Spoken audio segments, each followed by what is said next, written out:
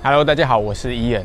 那最近因为有拍摄的需求，加上我自己对所谓激进几何的车架非常好奇，所以就组了这一台 Komosa Meta TR 二九。那什么是激进几何呢？就是有超趴的头管角度，还配上超陡的立管角度。那很趴的头管角度可以让下坡更稳定，那很陡的立管角度就可以让上坡更轻松。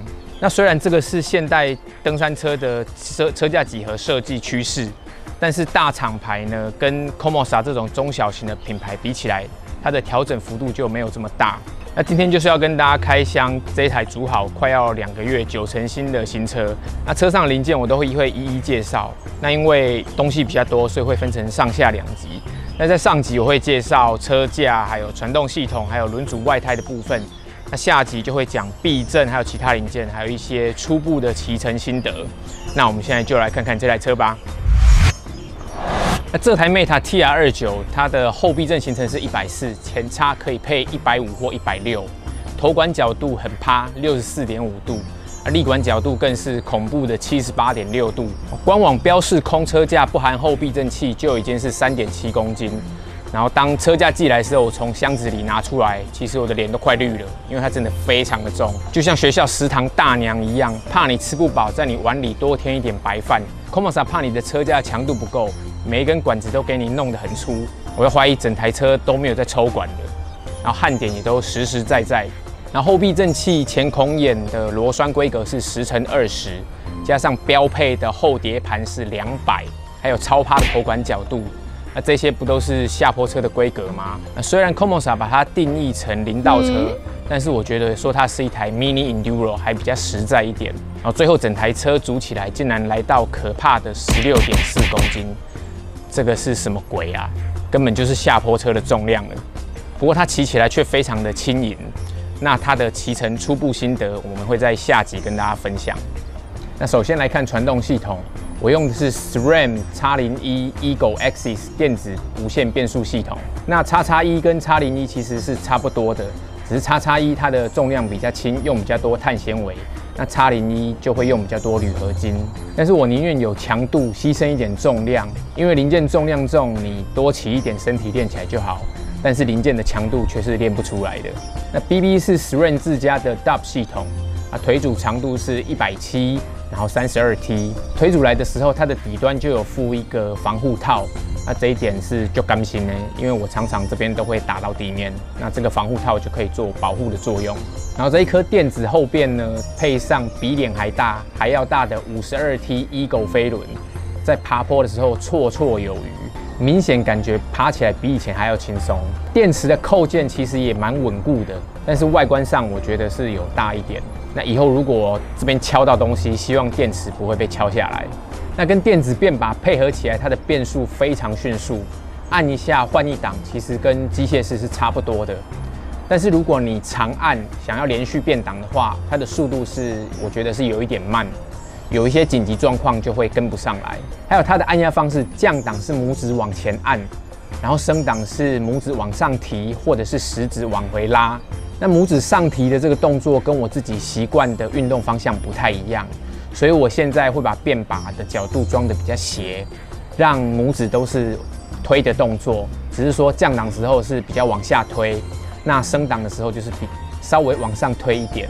那在变把上降档，它会有明显的卡跟卡顿的感觉；那在升档，它的感觉就比较弱。那我曾经就是有误触升档，然后却没有感觉到。那我的轮组用的是 Zip 的 Three Zero Moto 这组框。那选这组碳纤框，并是并不是因为要它轻量，因为它重量其实并不轻，一千九百一十克。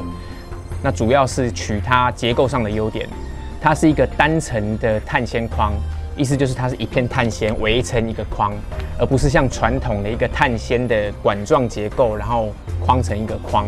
那这样的设计就是希望框在接受冲击的时候能有一些柔度，它有一点点可以变形，那这样可以吸收冲击，并且防止爆胎。然后这样的设计在框接受侧向的冲击的时候呢，因为它能变形吸收冲击，所以可以减少车胎侧向的弹跳。那不过因为我的车现在都还没有调整好，我不敢骑得太快，所以呢目前没有体验到这个设计的优点。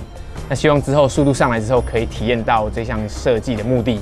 轮组是三十二孔，内框宽三十。那它来的时候标配都会有 Tire Wiz 的气无线气压计。那这个气压计它一直会监控胎压，你的胎压在设定范围之内，它就会亮绿灯。那如果掉到设定范围之外，它就会亮红灯。那这个设定可以用 SRAM 的 Axis App 来进行控制跟监看。那手机拿起来马上就可以看到胎压，其实这一点还蛮方便的。这个 Axis App 也可以跟电子变速连线，可以检查电量跟定义变把的按压内容。然后除此之外，还可以跟这支无线的伸缩座管连线。那这支 Reverb Axis 它的行程是一百五，管径是三四点九。所以它重量其实变得有点重，七百克。那它跟电子控制把配合起来的反应速度也是跟电变一样，非常的快。然后它的升起来的速度也是算快的，但还不到打碳器的程度。然后它的做工夹持机构松开主要的螺栓之后，转动前面的一个小螺栓就可以轻松的调整坐垫角度。这个设计是非常棒的。好，那再来看外胎，目前用的是 Schwab 的产品，前轮配的是 Nobinic。后轮是 Handsdown，都是二点六寸。因为我常常到处骑探路，所以选用的这个组合呢是 Schwab 里面最泛用的两条胎，几乎可以应付所有一般的路面骑乘。那只要你没有太特殊路况，譬如说下雨天烂泥，这两条胎基本上都可以处理。它们都是采用最新的 Adix 胶料，那在胎上面都会有一条蓝色的线，这是代表它是这个胶料系列里面的 Speed Grip 的软硬度等级。那 Adix 总共有四种胶料软硬度，分别用红、蓝、橘、紫来标示，红色最硬，然后紫色最软。那目前我也还在试不同的胎压，看看什么是最适合这两条胎的设定组合。那以上就是新车开箱的第一部分。那在下一集我还会介绍呃其他零件，还有避震器以及一些初步的骑乘心得。那希望大家也准时收看哦。那今天我们讲到这边，我们下次见，拜拜。